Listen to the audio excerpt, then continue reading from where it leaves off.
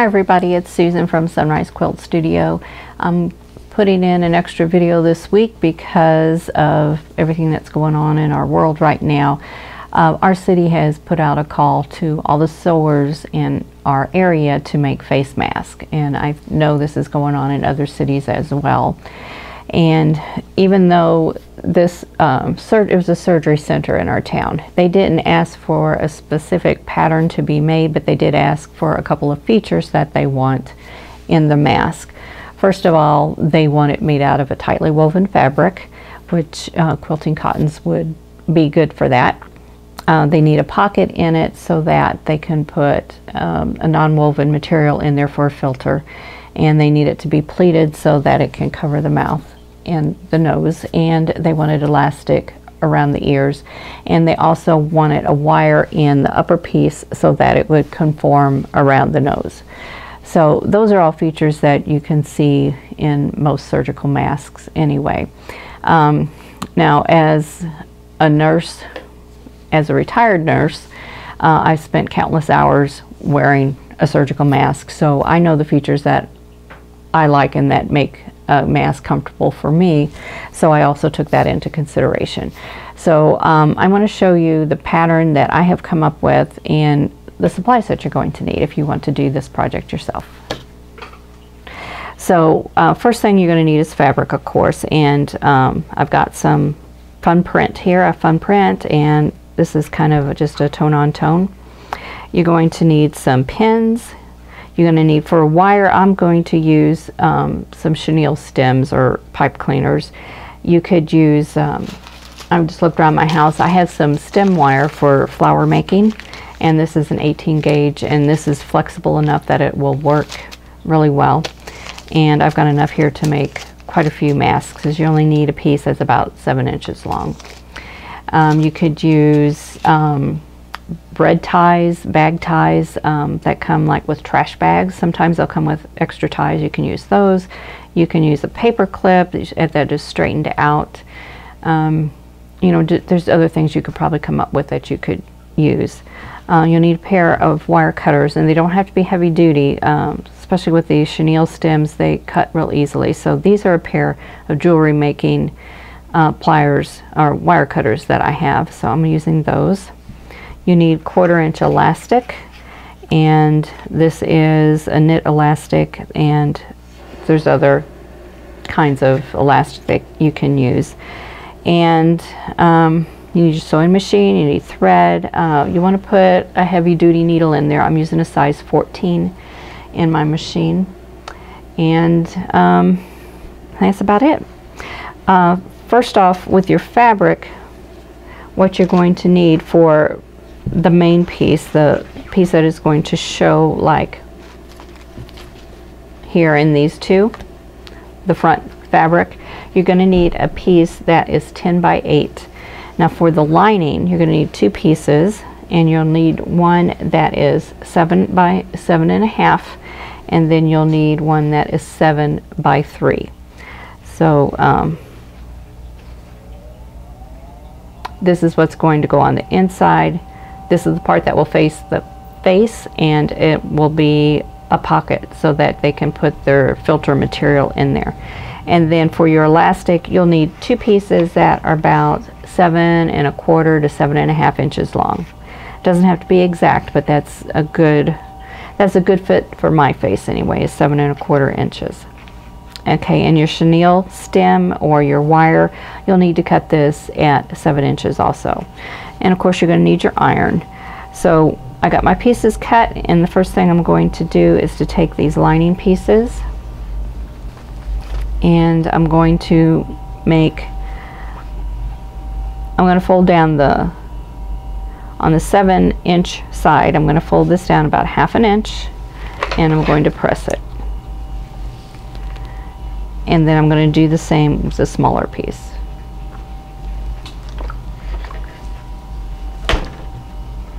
along the 7 inch side, which is the long side on this one, and press. Okay, now we need to sew this down and I'm just going to go you know, close to the edge close to the raw edge of it.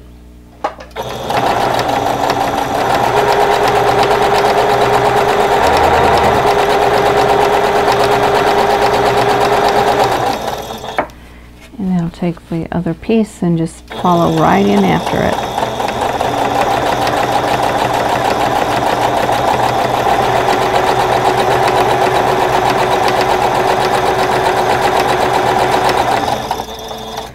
Okay, my stitch length is at 2.5. It's just a regular stitch length.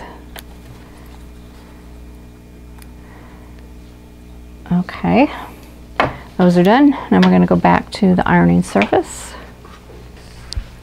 And what I'm going to do here is I'm going to find the center. I'm going to put the right sides up. And I just need to find the center of one side. So I'm just going to fold it and then just press that little edge right there. And then I'm going to take the short piece and on the raw edge, I'm going to do the same thing. I'm going to fold it in half and find the center of it. And then open this up and then I'm going to match right sides together, match the centers and have the raw edges even. And then I'm going to take some pins and I'm going to pin this in place. and then I'm going to take the larger piece and do the same and just line these pieces up the two blue pieces to them to each other and then the raw edges down here and then pin at the raw edges.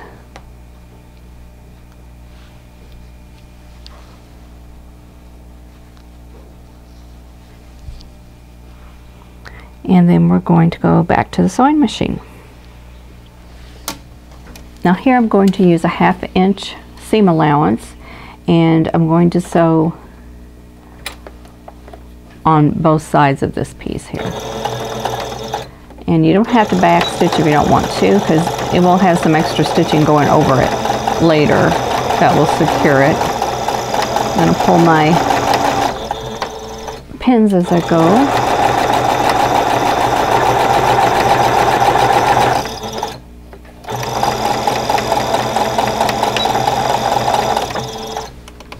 Back stitch again and then cut the threads. And cut them on both sides. Okay, then flip it around, do the same thing, a half inch seam allowance.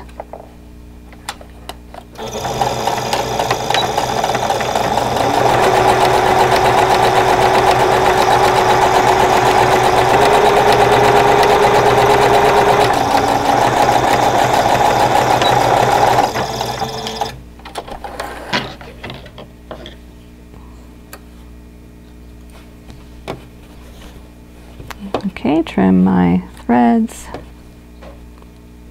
And then we're going to go back to the ironing board. Okay, what we're going to do here is I'm going to go ahead and press these open.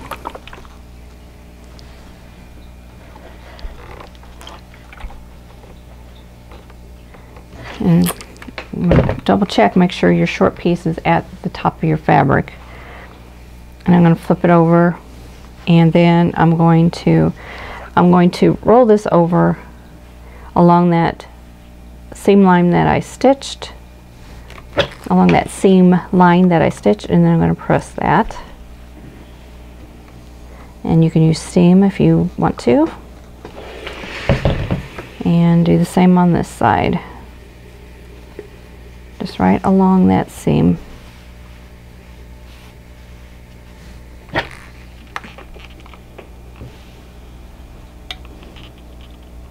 and just press it all the way across.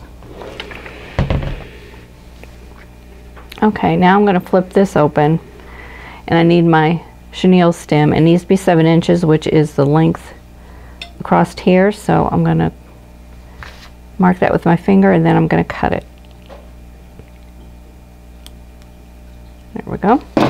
And now I'm going to fold this in by about half an inch. So I'm just going to make a little L shape and then just bend it down and that'll keep that wire from poking anybody in their face. So now we're going to put it in the seam allowance, fold it down, and I want to make sure that it is fairly even so that I don't have, let me turn it this way, maybe we'll see better. Um, I don't want it over to one side, I want it fairly even. Now this will want to shift because of the nap of the chenille So you can put it on this side or you can put it on this side, either one. It doesn't really matter, just whatever you want to do. I think, though for comfort, I think it would be better on this side because there's more padding between the person's face and that wire. So I put it in there. Now I'm just going to put a couple pins in here really close to that wire kind of keep it from shifting. And now we're going to go back to the sewing machine. Okay, now I've noticed something on this piece here. Um, the flap that this is going to go over the short one, but this is a little bit high up. So I am going to go ahead and fold this under one more time and stitch this down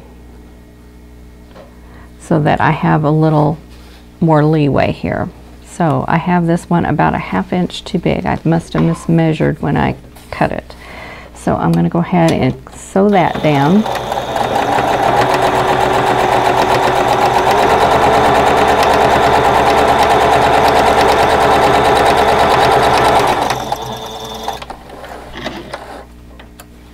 So if that happens to you, there's not a uh, big problem there. You just need to add another little bit of stitching. Okay, now I'm going to flip that out of my way. And I want to get sew in here close to that wire.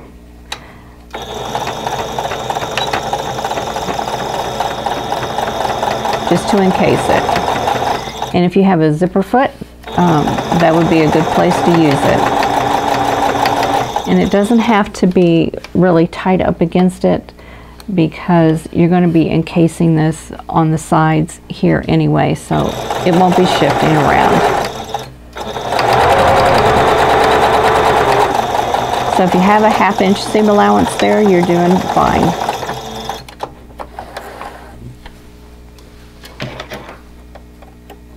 And then trim the threads. One thing I would suggest um, that when you finish with these, check and make sure you have all your threads trimmed really close to the fabric because those little hairs, little threads sticking out, those will really bother the person who's wearing the mask, so you don't want to do that. Okay, now I'm going to sew the sides down. Um, you don't have to backstitch on this. This is just to make it easier for you to pleat. I'm going to do it on both sides. So down here just about a quarter of an inch to an eighth of an inch from that raw edge. More like an eighth of an inch is what I'm doing here.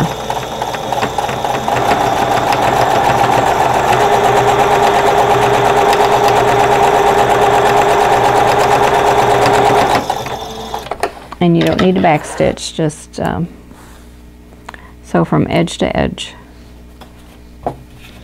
and just flip it around and do the other side.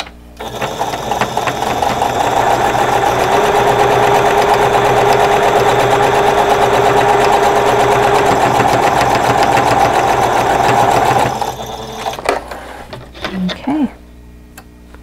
Now let's go back to the ironing surface and I'll show you when I'm how I'm going to pleat this.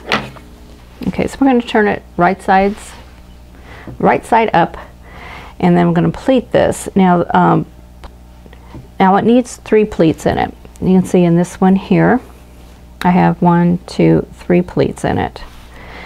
And the same on this one. Uh, the difference between these two is I had the seam the pocket is opens up in the center and that may be a little bit harder to get a uh, filter in there in my opinion so I wanted to raise this up and make it higher And I think this would be a lot easier to get that in. So anyway, that's my opinion. Okay, now to put the pleats in here, I want my first pleat to not cover up this pocket so that they can find it real easily. So I'm going to fold this um, over so that that pocket is not hidden. Okay, so you're going to fold this one in about an inch and a half and you can measure it on both sides if you want to to make sure you've got it pretty much even. And that looks pretty good. And I'm going to press this.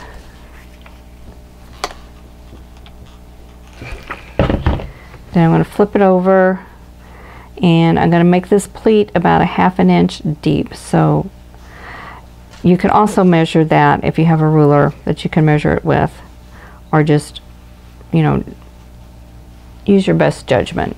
It doesn't have to be exact.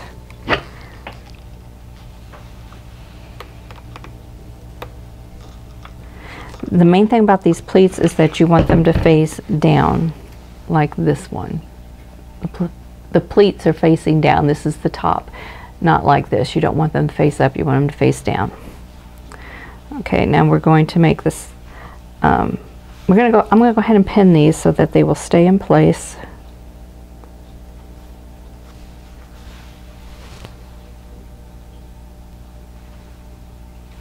and then I'm going to go down about an inch and make a second pleat, make it about a half inch deep. And press that.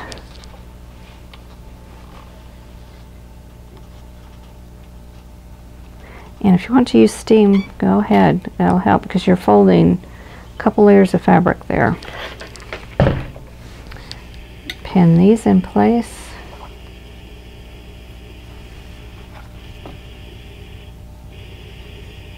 and go down about another inch and make another half inch pleat.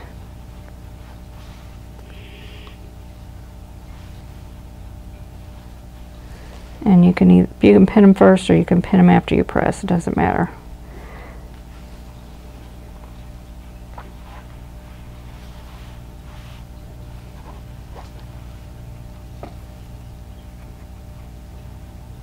And if you have to make one pleat a little bit shorter than the others, that's not going to hurt anything either.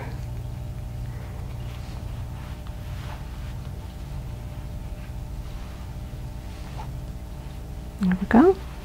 That looks pretty good.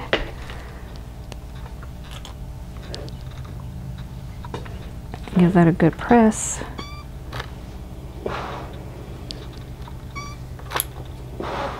Okay,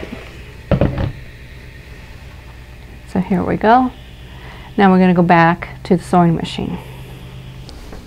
Okay, now to uh, make it easier to finish off this edge, what I'm going to do is do a little bit of sewing. I want to keep these pleats down. So on this seam that I sewed here for to hold the lining in, I'm going to stitch right along that line of stitching again, and that will help hold the pleats down.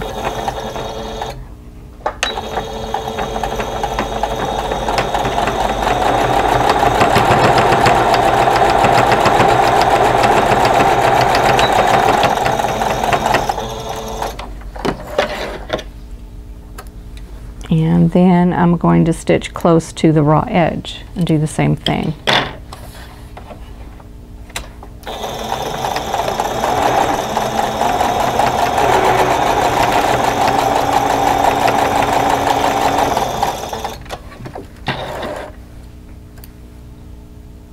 Okay, and I'm going to flip it around and do the same thing on this side. Just follow this line of stitching.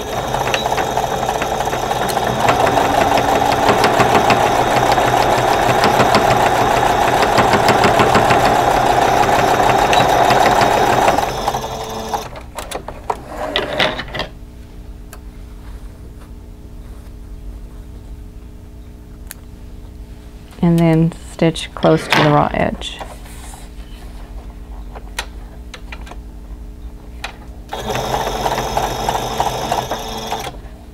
Make sure those pleats go in there flat since they're, oops, you're kind of uh,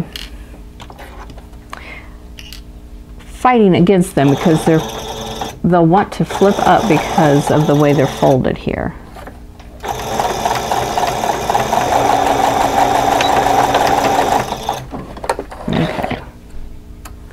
You really don't have to backstitch on those because that will be encased.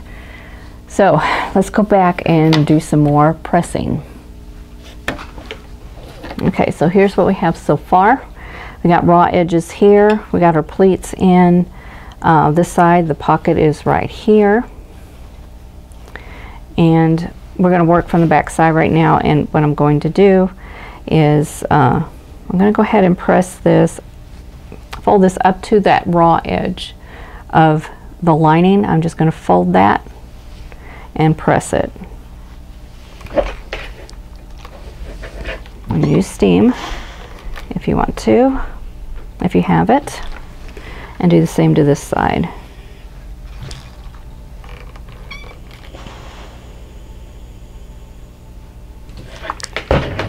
Okay, I'm going to go on this side since it should be cooled off. Now I'm going to fold this so that the raw edges meet.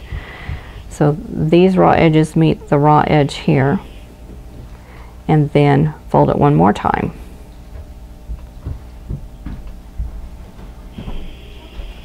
And then press that. And just be very careful with your fingers. and this will unfold, but you've got those creases in there that will stay, but it will kind of unfold on itself. But we're going to stitch that down here in just a minute and we'll be done.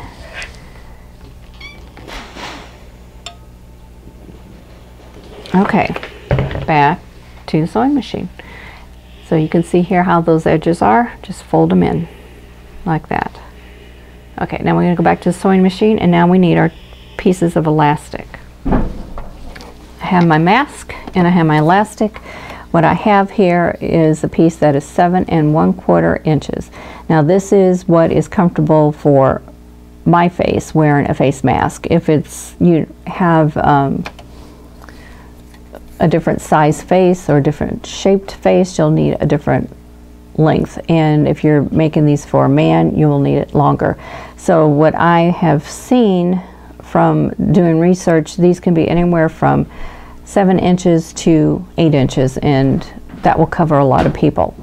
So I'm doing seven and a quarter because that seems to be a, a good size for me and I don't think I've got an unusually small face, though it probably is, is, is on the large, smaller side, but anyway, you know, makes, I'm going to make some that are longer and some that are shorter. So I'm going to tuck this in here about a half an inch. and Just roll that over and I'm going to keep it close to the outside fold. If you can see that here. It's close to this outside it's close to this outside fold as opposed to this one. So it's going to go in about a half an inch.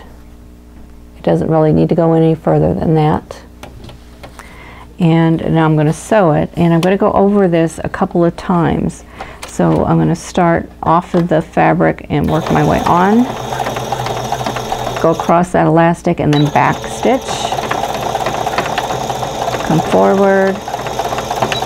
Back stitch again. And then come forward really close to that inner fold.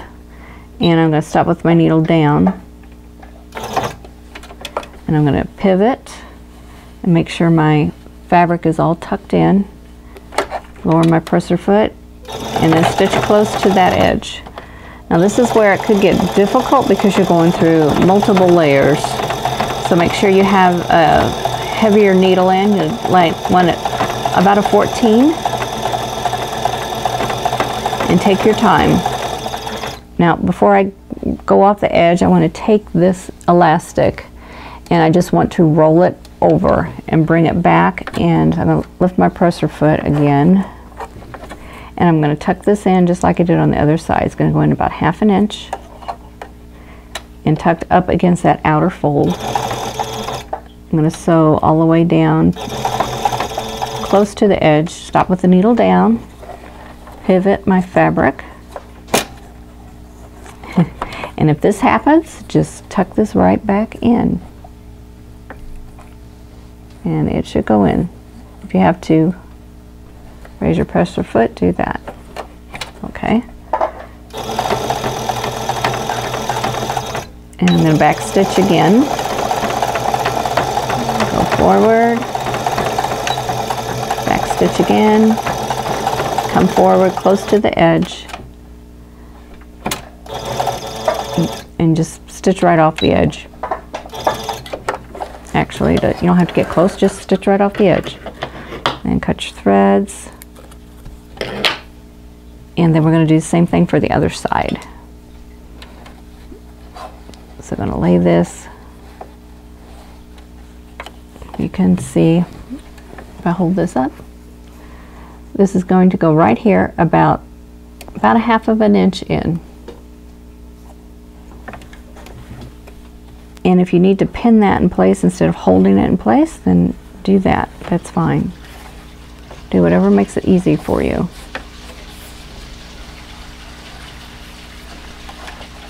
I get all my threads going where I want them to go. Here we go. Okay.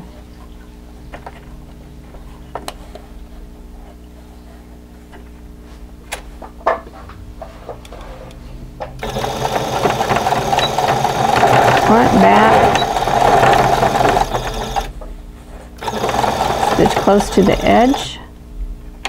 Top of the needle down. I'm going to go back. There we go. I overshot my mark there.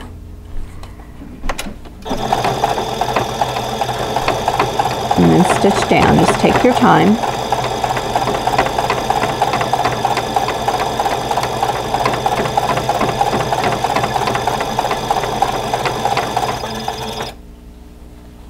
Take this, swing it around. and then tuck this in by about half an inch.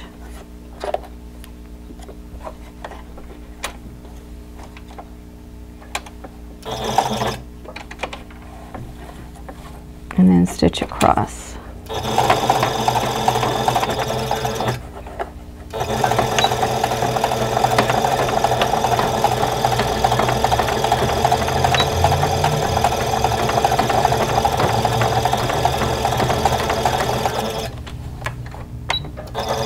Okay, now we're done. And trim all your loose threads. Make sure you got them trimmed close to the fabric so your healthcare worker doesn't feel like they have spiders crawling on their face. So here we go.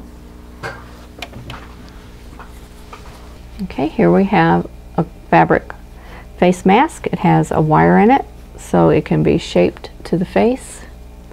And I, uh, a lot of places will say they just need a short wire in there, but I'll tell you from experience that if you can get a wire longer in there and shape it for your nose as well as your cheeks, you get a much better fit.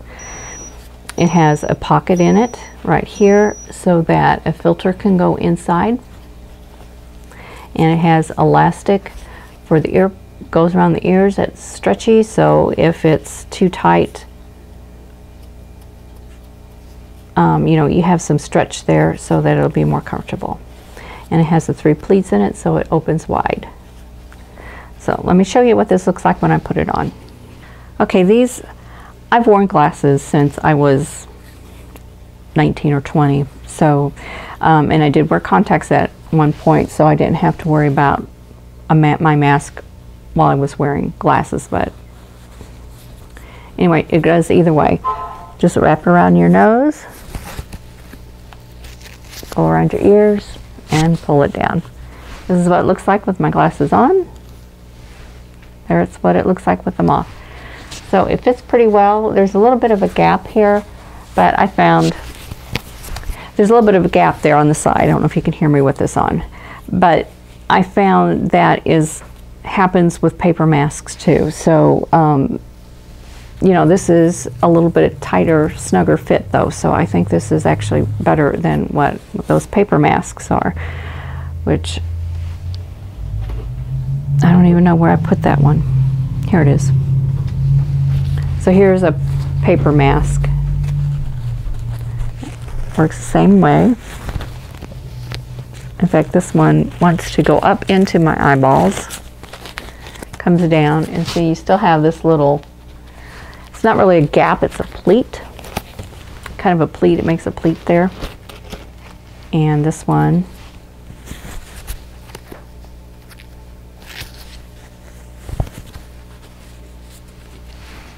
does the same thing.